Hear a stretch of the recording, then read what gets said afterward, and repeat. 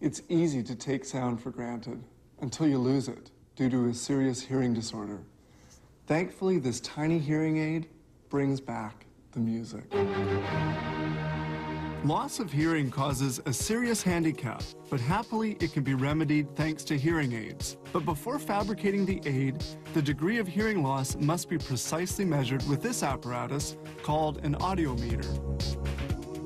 So they make a mold of the ear canal. To protect the eardrum, an otoblock is inserted.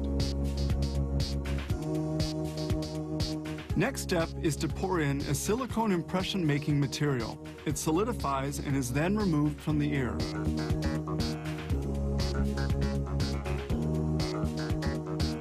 This congealed mass, representing the ear canal, is then soaked in warm wax to obtain a positive imprint.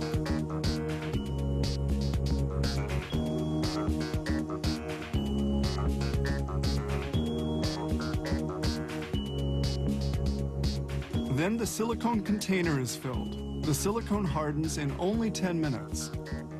The hardened silicone block is removed, and the excess of the imprint is removed so that only the essential part is retained. The imprint must slip easily into the ear.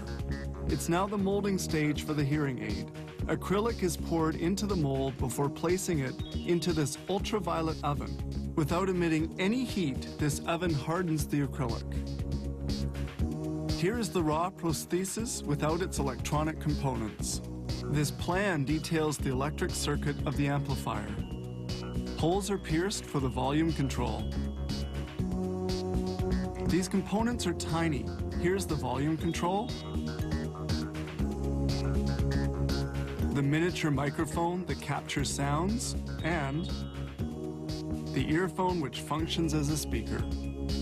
This tiny braided wire of seven conductors is soldered to the amplifier and the other parts of the prosthesis with pewter.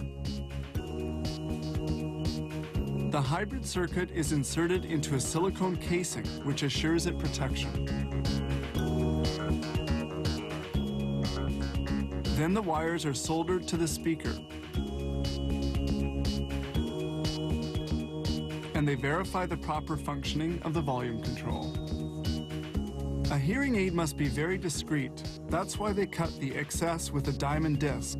They also remove the roughness with fine sandpaper. The holes we see here are used to vent air from the earphone. This silicone tube is used to make the vent. Acrylic is poured onto the tube to form a tunnel. Ultraviolet light is used to harden the acrylic. Afterwards, the tube is removed. This hole is used to position the fastener, a small wire which allows for removing the hearing aid from the ear.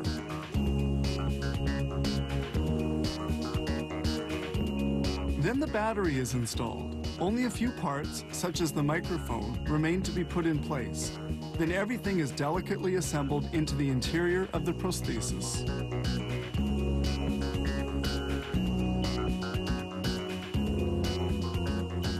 The two parts of the hearing aid are then glued together. Ultraviolet hardens the glue. The plate used to position the prosthesis components is cut away with a drill. Then the hearing aid is manually polished to make it perfectly smooth and comfortable.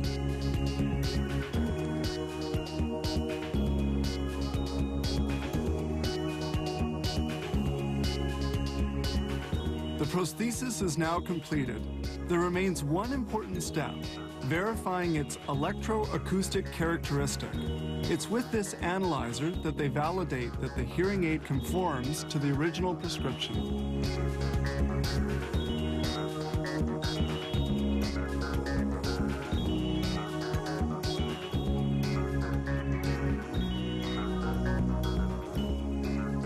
These minute prostheses allow us to solve the main hearing problems. Microfabrication of a single unit requires a little more than two days of work.